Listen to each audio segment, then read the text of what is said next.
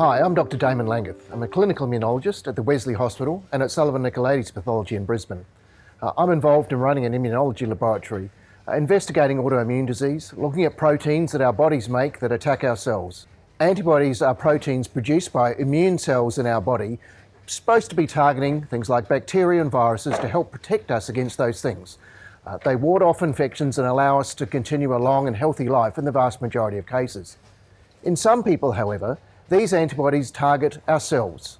And in a few numbers of those people, they then lead to chronic disease, which are often termed antibody mediated autoimmune disease.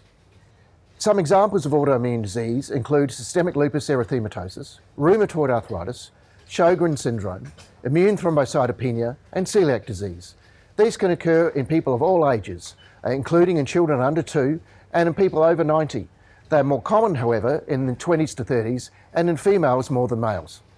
Autoimmunity is very complex, and we're only really at the beginning knowledge of what triggers autoimmunity.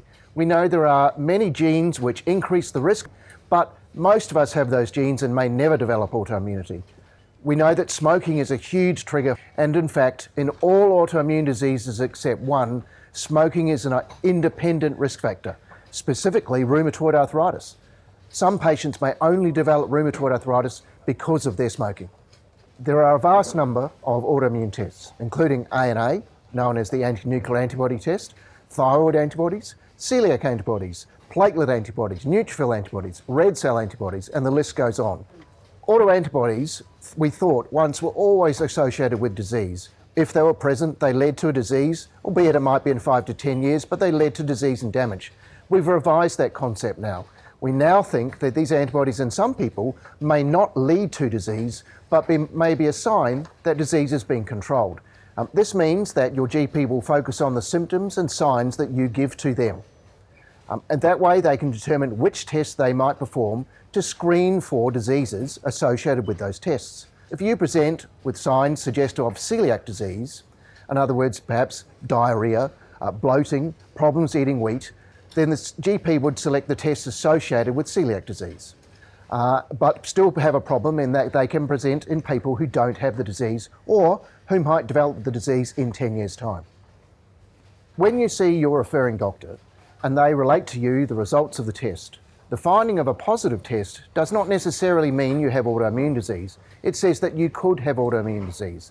There may well be secondary tests that are able to investigate this. In some diseases, like celiac disease, that may mean a biopsy of the small intestine or stomach. Autoimmunity is very variable.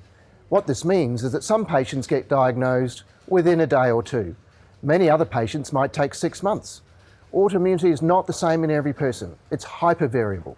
And this makes it a challenge for you and for your doctor to make a clear diagnosis. You need to bear with your GP or your specialist during that time and make sure you relate to them new signs and symptoms that occur, which they may then relate to a disease or to further testing, which may help clarify your clinical situation and lead to the diagnosis.